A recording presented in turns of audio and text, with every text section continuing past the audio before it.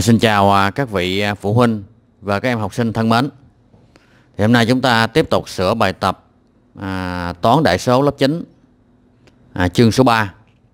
Chúng ta bắt đầu đọc đề Hãy biểu diễn y qua x. Chúng ta biểu diễn y thông qua x, đúng không? Đó. À, ở mỗi cái phương trình sau đây nếu như có thể, nếu như có thể thì hãy biểu diễn, còn nếu không làm được thì thôi rồi đón nhận số nghiệm. Ở đây người ta hỏi cái số nghiệm. À, số nghiệm. Rồi à, của mỗi hệ phương trình sau đây và giải thích vì sao. Chỉ cần giải thích vì sao thôi nha chỉ cần là giải thích vì sao chứ không có vẽ đồ thị. Lưu ý là không có vẽ đồ thị nha. Rồi bây giờ chúng ta sẽ bắt đầu làm cái à, câu A. Ở đây nó có bốn câu A B C D. Chúng ta làm câu A. Thì chúng ta dùng dấu à, tương đương để chúng ta à, à, biến đổi tương đương hệ phương trình. À. rồi chúng ta cũng viết cái dấu này gọi là cái dấu và tức là phương trình số 1 và phương trình số 2 à, dấu móc nhọn chính là số dấu và và dấu móc vuông chính là à, dấu hoặc. Rồi ha. À, bây giờ chúng ta biểu diễn y qua x. À, thì có nghĩa rằng là y bằng cái gì đây? À, y qua x có nghĩa là y bằng cái gì đây? Y nó là một cái à, hàm số à, theo biến x. Rồi thì à, chúng ta thấy rằng là à, khi chúng ta ghi y bằng có nghĩa là chúng ta đem cái à, 4x qua bên đây đúng không? Chúng ta thấy đây là 4x trừ 9y thì chúng ta đem qua sẽ là 4x trừ 3 ha, 4x à, trừ 3 đúng không? Ha. 4 à, 4x trừ 9y bằng 3 thì chúng ta chuyển với qua thành là 4x à, trừ 3 chúng ta chia cho 9 ở dưới này đó, chúng ta chia 9 dưới này rồi, đương nhiên ở đây mình làm tắt ha. Còn các à, em học sinh nào mà không quen với cái cách làm tắt này thì à, mình bây giờ mình làm từ từ, mình làm từ từ. Có nghĩa rằng là như thế này, à, à, đây là trừ 5x trừ cho 3y không? Bằng 1 thì chúng ta hoàn toàn có quyền ghi là 3y ha. Đây mình làm từ từ thôi nha. Chúng ta giữ là cái này 3y nó sẽ bằng là trừ 5x trừ 1 à, nó sẽ bằng trừ 5x trừ 1 đó. À, ví dụ như mà nó mà nói ví dụ như trên đây nha. À, ví dụ như chúng ta có à, chúng ta có là um, ví dụ mình viết dưới này nha. Chúng ta có à, là cục gạch đúng không? Cục gạch trừ cục đá. À, cục gạch trừ cục đá bằng à, đống rơm. Ví dụ vậy bằng đống rơm mình ví dụ vậy nha. Đó, đây là hình đống rơm đúng không? Đó. Thì chúng ta hoàn toàn có quyền tương đương rằng này là cục gạch trừ cục đá bằng đống rơm. Thì chúng ta có quyền tương đương à, là cục đá nó sẽ bằng cục gạch. Thấy không? Nó bằng cục gạch trừ cho cái đống rơm. Đã không? Chúng ta lưu ý vào đó. Mình nhắc lại lần nữa nha. À, cục gạch trừ cục đá bằng đống rơm. Thì chúng ta hoàn toàn có quyền tương đương à, là cục đá nó sẽ bằng cục gạch trừ cho cái đống rơm. Đó chúng ta lưu ý chỗ đó. Rồi à, để chúng ta biến đổi cho nó nhanh đó mà. Rồi ha. À, bây giờ chúng ta tiếp tục chúng ta à, tương đương. Đó. như vậy thì y bằng à, ở đây chúng ta tách thành hai phân số là 4 phần 9 4 phần 9 đúng không? X à, 4 phần 9 x rồi trừ cho cái gì? Trừ cho 3 phần 9 tức là 1 phần 3 rồi còn ở dưới này chúng ta dấu và này chúng ta cũng viết lại ha. Rồi dưới này thì chúng ta sẽ có là y bằng y bằng gì? Y bằng là trừ 5x trừ 1 à chia cho 3 đúng không? Tất cả chia cho 3 thì chúng ta cũng tách thành hai phân số thành là trừ 5 phần 3x à, trừ 1 phần 3 đúng không? À, nó là trừ 5x trừ 1 tất cả chia 3 chúng ta tách thành hai phân số là trừ 5 phần 3x trừ 1 phần 3 rồi bây giờ chúng ta thấy rằng á, là à, à, cái à, dòng đầu tiên đúng không? Nó chính là một cái à, phương trình đường thẳng không? phương trình đường thẳng. À, có cái hệ số góc là 4 phần 9 à, cái đường thẳng y bằng à, 4 phần 9 x trừ 1 phần 3 đó. Thì nó có cái hệ số góc là 4 phần 9 à, thế hệ số góc là cái gì? Ý nghĩa của hệ số góc thì á, cái hệ số góc á, nó chính là à, tăng phải không? Tăng à, của cái góc à, tạo bở gì? Của cái góc tạo bở cái đường thẳng đó với cái trục hoành. À, à, nhắc lại hệ số góc chính là tăng. À, của cái góc à, tạo bởi cái đường thẳng với cái trục hoành. À, rồi như vậy thì sao? Như vậy thì cái hệ số gốc của à, đương nhiên cái phần này thì các em học sinh đã học ở cái học kỳ 1 rồi. À, đã học ở học kỳ 1 rồi. À, cho nên đây là học kỳ 2 chương 3 thì mình không có nói à, không có nói lại. Chỉ nhắc sơ sơ là vậy thôi đó.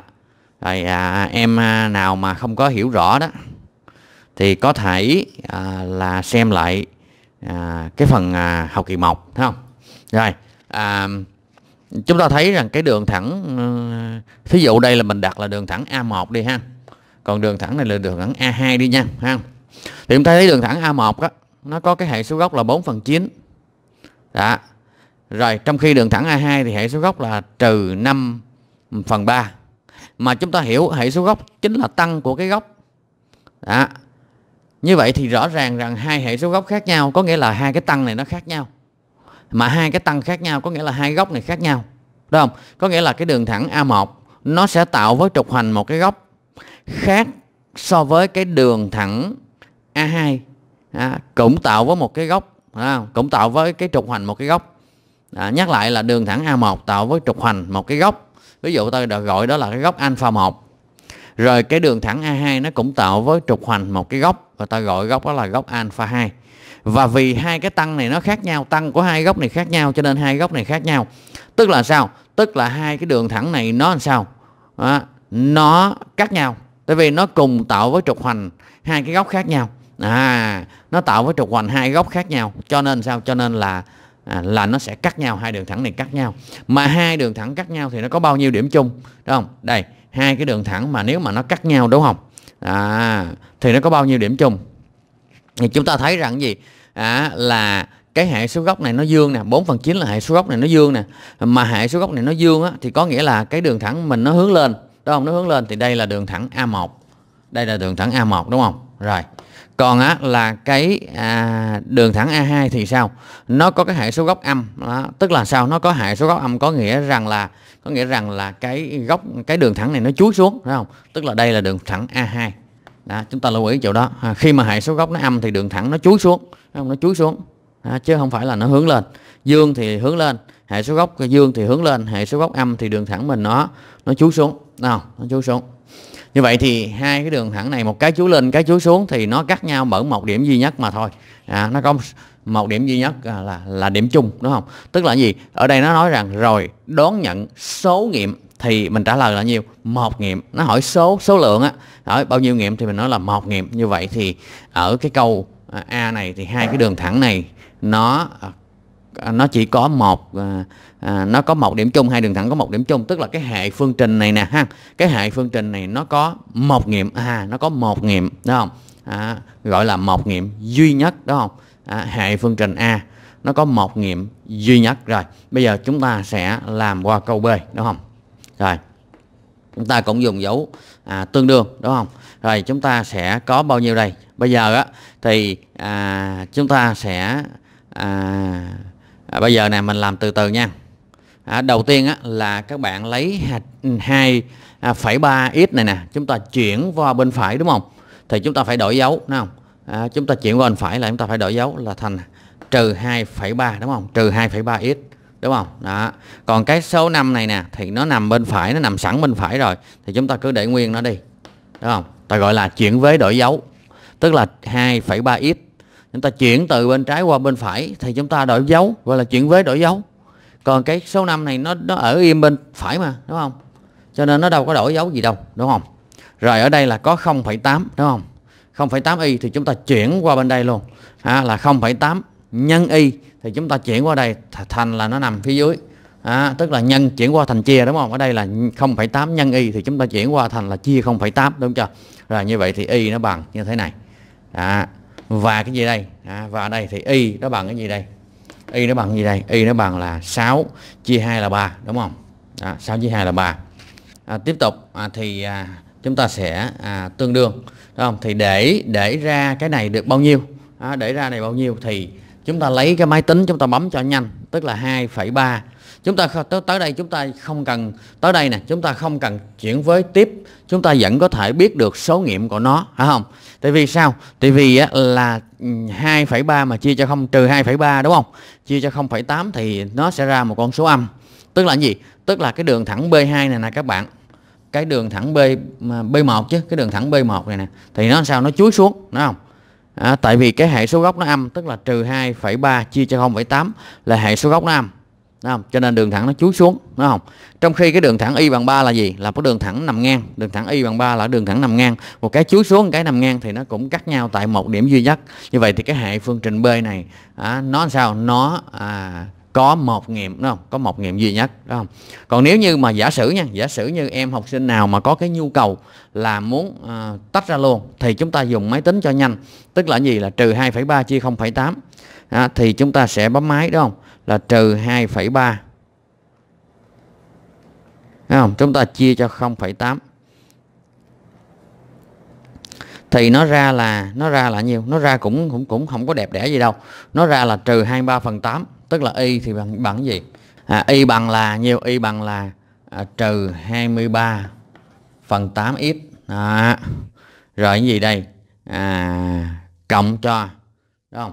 À, cộng cho 5 chia cho À, cái này là 5 chia cho 0,8 thì bằng bao nhiêu thì nó ra 25 phần 4 tức là chúng ta cộng cho 25 à, phần 4 à, cộng cho 25 phần 4 rồi còn này chúng ta viết lại là y bằng là 3 y bằng 3 đó.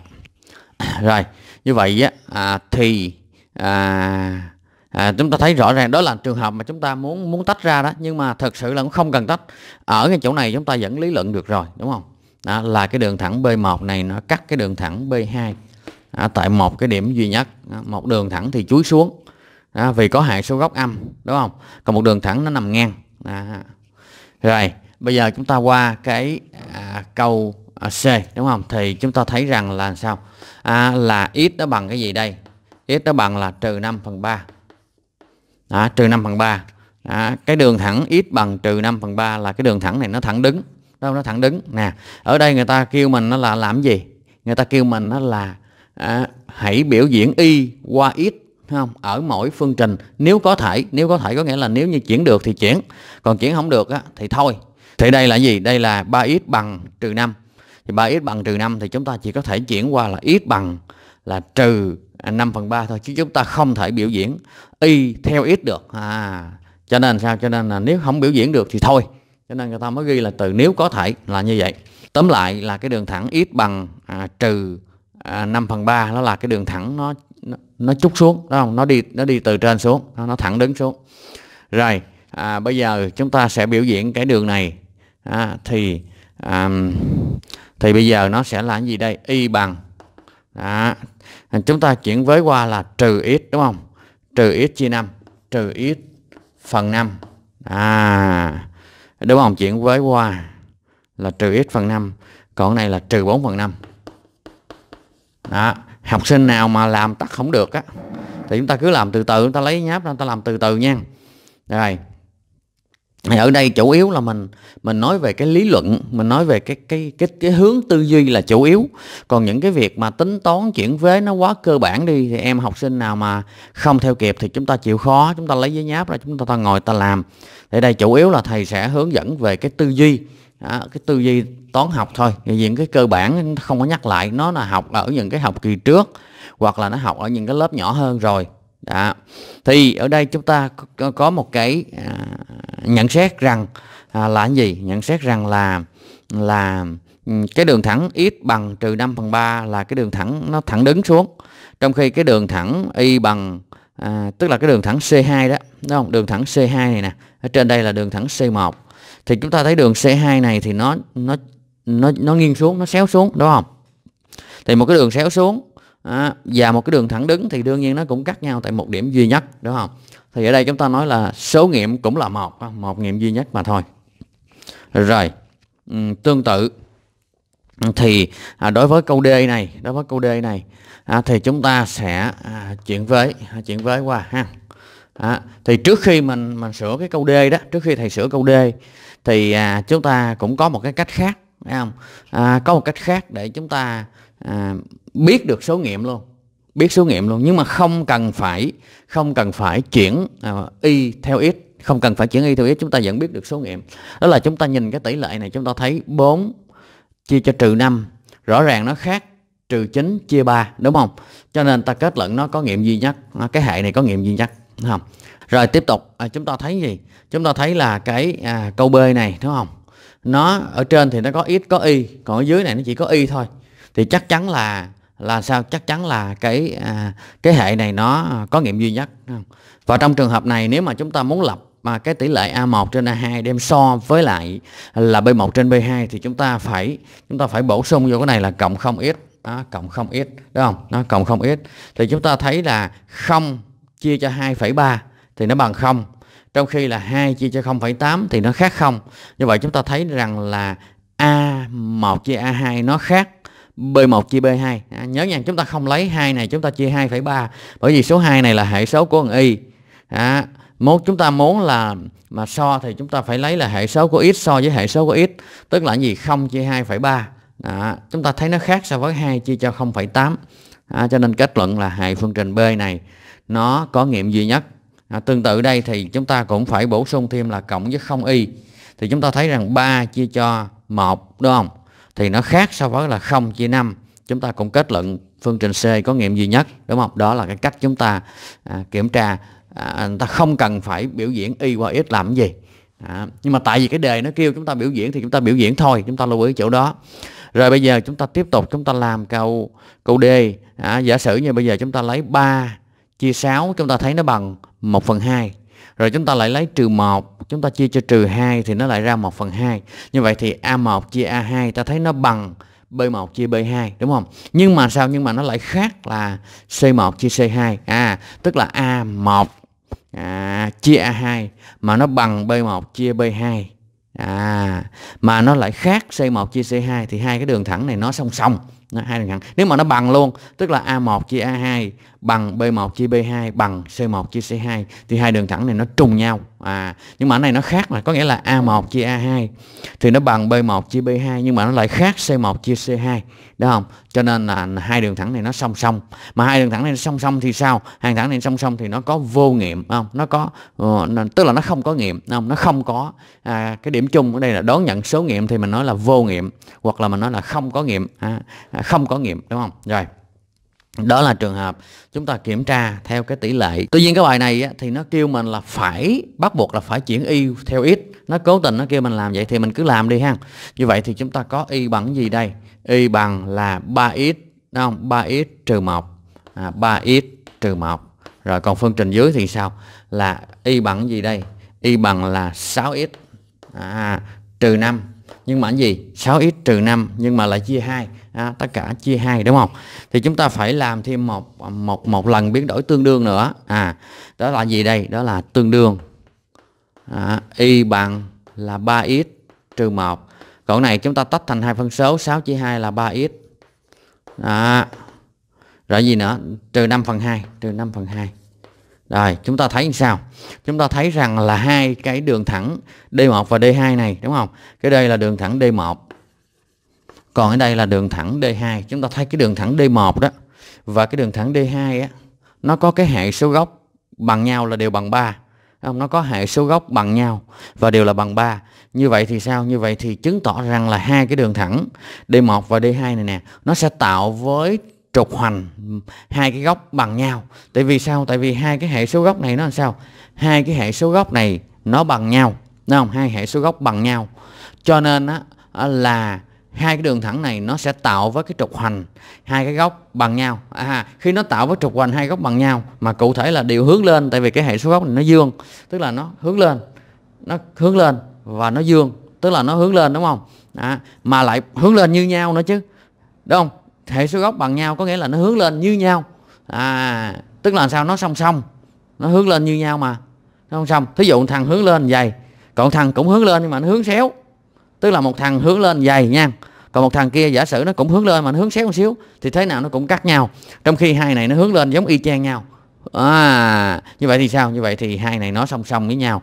Đó. Bởi vì cái đuôi nó khác nè. Cái đuôi một cái một cái đuôi là trừ một còn kia cái đuôi là trừ 5 phần 2 à, cái này người ta gọi là à, tung độ góc mà người ta gọi là tung độ góc đó không? À, thì hai số góc mà bằng nhau trong khi tung độ góc nó khác nhau như vậy hai đường thẳng này nó song song đó. còn nếu hệ số góc bằng nhau tung độ góc cũng bằng nhau luôn thì hai đường thẳng này nó trùng nhau. Đó.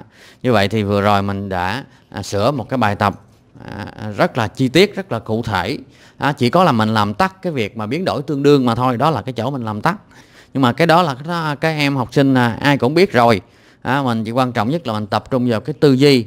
Đó là thứ nhất là về cái hệ số gốc đó, rồi cái tung độ gốc à, và cái có thể là dùng cái cách khác đó là so sánh tỷ lệ để chúng ta có thể kết luận là số nghiệm của hệ phương trình mà nó có liên quan đến là cái vị trí tương đối của hai cái đường thẳng. Rồi à, chúc các em học sinh à, đạt kết quả à, và chúc các à, vị phụ huynh à, nhìn thấy được con em của mình học hành ngày càng tấn tới. Xin kính chào tạm biệt và xin hẹn gặp lại.